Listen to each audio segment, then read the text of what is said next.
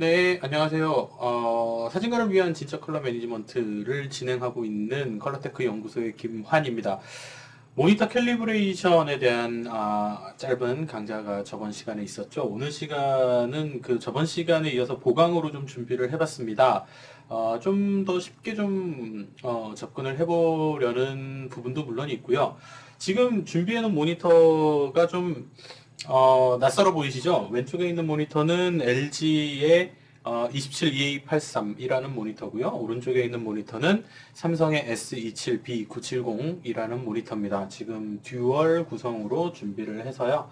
어, 이렇게 양쪽으로 모니터 두 대를 준비를 했습니다. 오늘 보여드릴 내용은 어, 저번 시간까지 모니터 calibration이 뭔지 잠깐 보여드리고 또 프로파일에 대해서도 좀 설명을 드렸지 않습니까?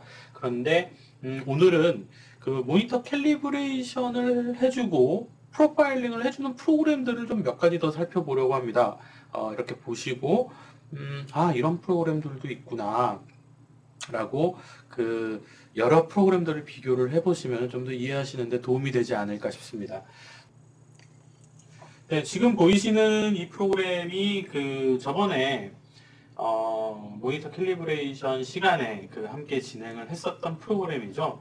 그래서 어, 이런 식으로 뭐 모니터의 종류를 선택을 하시고 이렇게 쭉 그 모니터의 모델명도 입력을 하시고 이렇게 진행을 하는 방식이었었죠.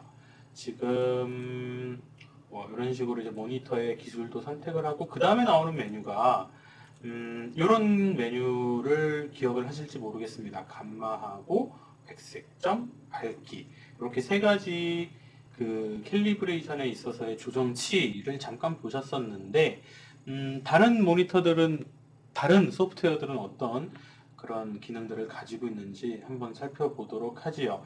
제가 저번 시간에도 말씀드렸다시피 캘리브레이션에 있어서 세 가지 핵심적인 속성은 바로 이 감마, 백색 점, 밝기 다른 말로 하면 톤 재현 특성, 화이트 포인트, 모니터의 휘도 뭐 이렇게 되겠습니다. 이 세 가지를 한번 다시 보여드릴게요. 네, 지금 보고 계시는 프로그램은 바로 LG전자에서 제공하는 어, 모니터 캘리브레이션과 프로파일링을 해줄 수 있는 프로그램이 되겠습니다.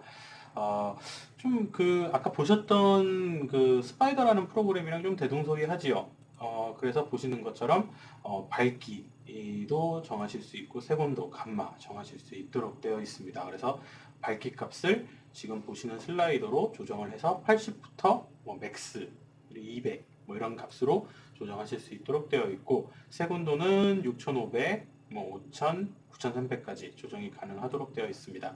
감마 값은 마찬가지로 1.8부터 2.6까지 대개의 calibration이나 프로파일링이 이 수치 범위 내에서 이루어진다는 것을 확인을 하실 수가 있겠죠. 모니터는 27EA83으로 선택이 되어 있는 것을 확인하실 수 있고요. 그 다음에 calibration을 할 장치를 선택을 해야 되는데요. 지금 제가 한번 센서를 연결해 보겠습니다. 센서를 연결을 했을 때 어, 보시는 것처럼 Spyder 4라고 해가지고 바로 센서가 어, 연결 인식이 되는 것을 확인하실 수가 있으시죠? 여기에서 이제 calibration 버튼을 누르게 되면은 교정을 진행을 하게 됩니다. 교정까지 한번 직접 한번 해보도록 하겠습니다. 교정 버튼을 누르면 보시는 것처럼 calibrator를 위치를 하세요 라고 나오죠. 계측을 할 수 있는 계측 센서를 어, 모니터의 해당 영역에다가 위치를 하면 되겠습니다.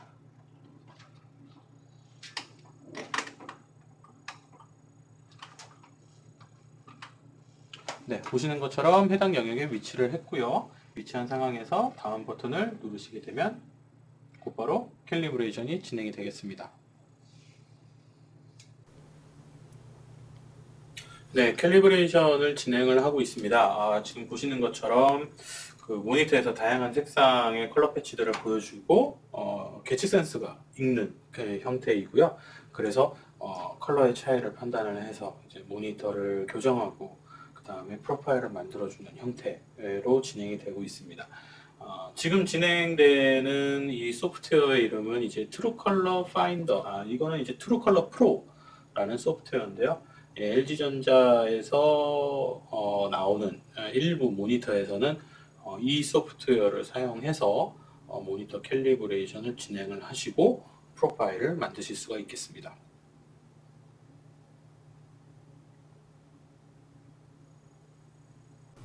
네, calibration이 모두 완료가 됐습니다. 아, 보시는 것처럼 어, 뭔가 새로운 창이 떴네요. 센서를 모니터에서 제거하고요.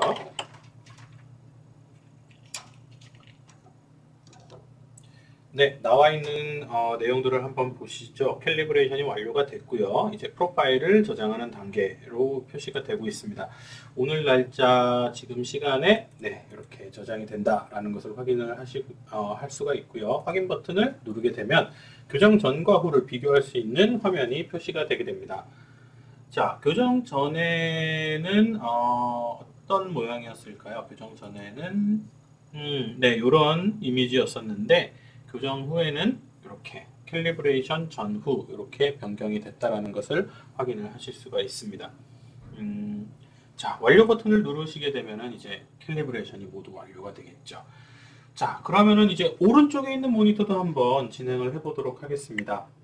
오른쪽에 있는 모니터는 삼성의 True Col 어, Natural Color Expert라는 소프트웨어를 사용하는 프로그램인데요. 자, 일단 Natural Color Expert를 오른쪽으로 이동을 하겠습니다. 네. 아, Natural Color Expert에서도 마찬가지로 어, 거의 유사한 형태로 진행이 됩니다. 지금 삼성에서는 이런 이제 S27B970과 같은 모니터의 calibration과 profiling을 위해서 어, 이런 이제 소프트웨어를 이제 제공을 하고 있죠. 그래서 이제 첫 번째 단계에서는 이제 프로파일의 어, 색 재현 영역을 선택할 수 있도록 어, 선, 예, 메뉴가 준비가 되어 있고요. 다음 버튼을 누르시게 되면 어, 밝기를 지정할 수 있도록 되어 있습니다. 밝기를 원하시는 수준에서 여러분들이 선택을 하실 수가 있고요. 어, 모니터의 밝기를 과연 몇으로 놓아야 하느냐라는 그런 어, 질문을 하시는 경우들이 좀 많이 있으실 텐데요. 조금만 기다려 주십시오. 어, 이 모니터의 밝기에 대해서 좀 더 자세하게 이 설정하는 법에 대해서 설명을 좀 드리도록 아마 파트 3쯤에서 설명을 하게 될 것 같습니다. 자, 다음 버튼을 눌러보고요. 그 다음에 이제 black level이라고 해서 화이트의 밝기가 아니라 검정색의 밝기를 지정하는, 어, 선택하는 단계도 표시가 되는데요. 음, 여기를 활성화 버튼을 누르시게 되면 이제 지정을 할 수 있도록 되어 있습니다만은 기본적인 선택은 이제 활성화를 안 하시는 거니까 이제 black level은 생략하고 다음 단계로 가보도록 하겠습니다. 마찬가지로 그 색온도를 선택할 수 있는 그런 메뉴가 준비가 되어 있지요. 그래서 이쪽에서 원하시는 색온도를 선택을 하시거나 아니면은 여기서 슬라이드 바로 선택을 하실 수 있도록 되어 있습니다. 어, 아까 보셨던 이제 감마, 색온도, 밝기 마찬가지로 동일한 형태로 진행이 된다라는 것을 확인하실 수가 있으시죠? 자, 그 다음에 어, 여기서 보시는 게 이제 바로 감마라고 하는 톤 응답 특성입니다. 여기에서 이제 특이하게 LUT라고 나와 있는데요. 이제 원하시는 수치로 이렇게 여러분들이 원하시는 값을 직접 선택을 하실 수도 있고요. 아까 그 LUT를 그대로 가져가실 수도 있는데, 어, 그럼 LUT와 2.2의 차이는 뭔가요? 어, 요거는 이제 제가 다음 기회에 말씀을 드리겠습니다. 요것만 말씀을 드려도, 음, 상당히 좀 시간이 오래 걸리거든요. 그래서 일단 2.2 감마를 그대로 놓고 진행을 하겠습니다. 참고적으로 LUT를 쓴다는 건 이제 sRGB의 감마 커브를 그대로 쓴다는 건데요. 어, 다음 기회에 이제 감마에 대해서 설명드릴 때 좀 더 자세하게 설명을 드리겠습니다. 자, 미리 보기를 보시면 적용 전에는 이런 이미지였는데 적용 후에는 이렇게 바뀔 수 있다라고 이제 예시로 샘플로 이렇게 이미지를 어, 준비를 해 놓고 있지요. 크게 이제 특이하게 차이가 보이진 않습니다만 일단 다음 버튼을 눌러서 진행을 해보겠습니다. calibrator를 선택하세요. 마찬가지로 센서를 선택할 수 있도록 준비가 되어 있고요. 센서를 선택을 한 다음에 다음 버튼을 누르게 되면 calibrator를 초기화한 다음에 바로 이제 센서를 올려놓을 수 있는 위치를 보여주게 됩니다. calibrator를 여기에 위치시키세요 라고 표시가 되죠. 여기다가 위치를 하시면 되겠습니다. calibrator를 제가 올려놓을게요.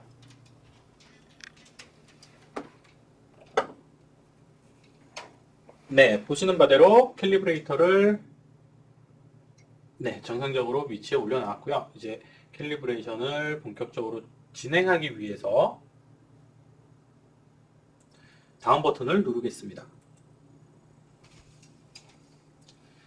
마찬가지로 이제 동일한 형태로 진행이 되는 것을 확인하실 수가 있으시죠. 어, 소프트웨어에서 어, 백색, 검정색, 회색, grayscale, red, green, blue와 같은 어, 색상들을 재현에 이제 표현을 해주고 있고요. 그 다음에 센서가 그 색상들을 읽어서 어, 오차가 있으면 차의 값을 어, 교정을 해주고요. 그게 바로 캘리브레이션이고 그 다음에 어, 센서가 읽은 값들을 기초로 해서 프로파일을 만들어 주겠죠. 그래서 그 프로파일을 가지고 운영체제에 적용을 시킨 다음에 운영체제에서는 포토샵이나 일러스트레이터에서 정확한 컬러로 보실 수가 있게 되는 것입니다.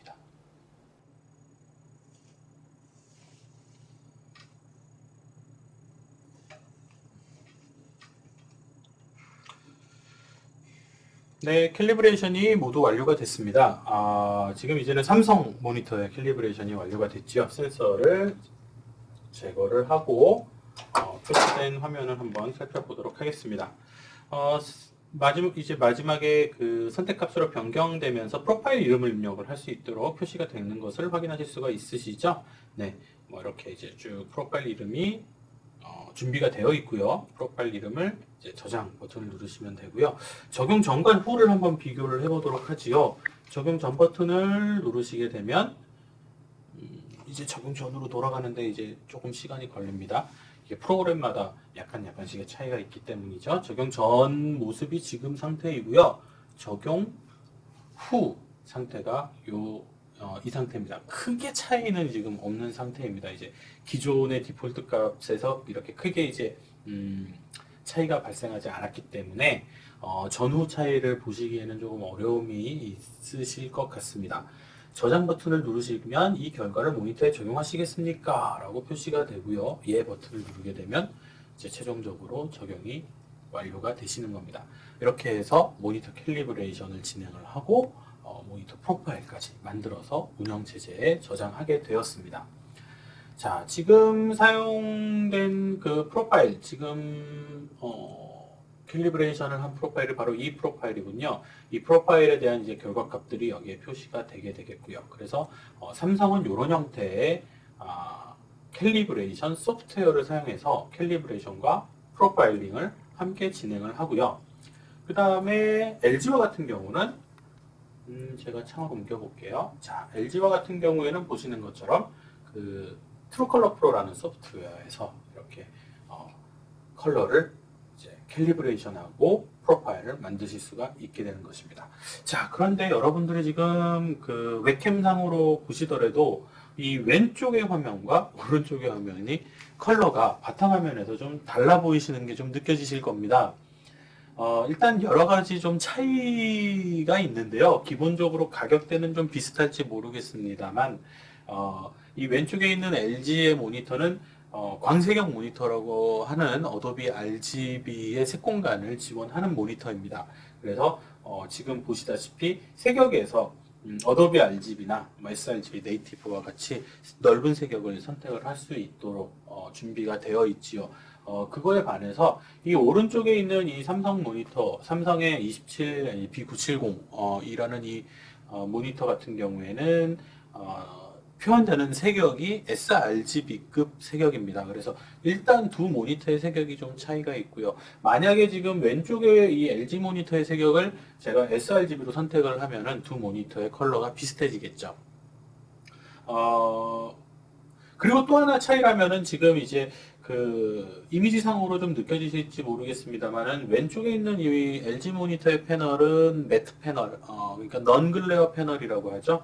그래서 반사가 없는, 반사가 덜한 패널이고요. 이 오른쪽에 있는 이 삼성 모니터의 경우에는 그 Apple Cinema Display나 MacBook과 같이 그런 반사가 있는 glare 패널이죠. 그래서 지금 보시는 형태로 반사가 좀 빛반사가 좀 심한 것을 확인하실 수가 있습니다. 그래서 두 모니터의 성격이 좀 약간 다르기 때문에 어, 이런 컬러 차이도 발생을 하고요.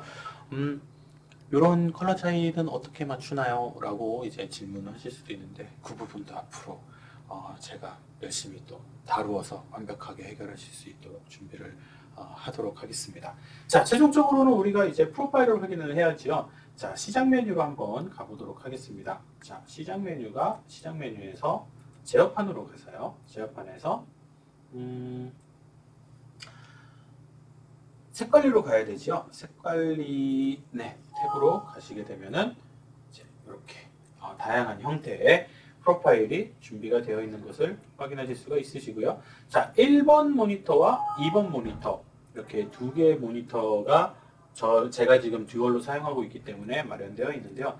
일단 1번 모니터는 어, 삼성 모니터 프로파일이 등록이 되어 있어야 됩니다. 자, 보시는 것처럼 그 삼성의 모니터 프로파일이 등록이 되어 있고요. 네, 2번 모니터 프로파일에서는 어, 오늘 제가 만들었던 프로파일 어, 7월 22일 네 여기 있네요. 어, 만든 27EA830 프로파일을 기본 프로필로 설정을 해주시면 되겠습니다.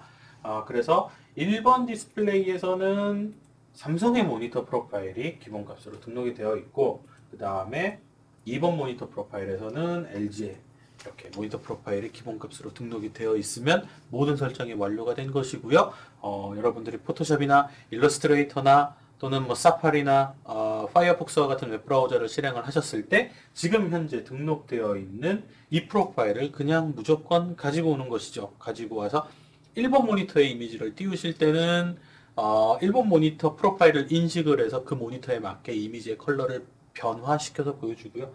그 이미지를 2번 모니터에다가 띄우실 때는 또 2번 모니터의 프로파일을 인식해서 아 지금 이 모니터는 광색역 모니터니까 컬러를 줄여서 보여줘야 되겠구나 라는 것들을 프로그램이 알아서 하는 것이죠. 그래서 여기에서는 또 이미지가 또 아주 이렇게 색역이 음, 정확하게 교정된 형태로 이미지를 여러분들이 보실 수가 있겠습니다. 자 오늘은 calibration 소프트웨어를 이제 대표적인 이제 LG 소프트웨어와 이제 삼성 소프트웨어를 한번 좀 비교하면서 간단하게 어떤 식으로 진행이 되는지 한번 알아봤고요. 다음 시간에는 어, 지금 이 모니터 두 대가 이렇게 준비가 되어 있는데 듀얼 모니터 calibration은 어떤 식으로 진행이 되는지 한번 어, 말씀을 간단하게 드리도록 하겠습니다. 감사합니다.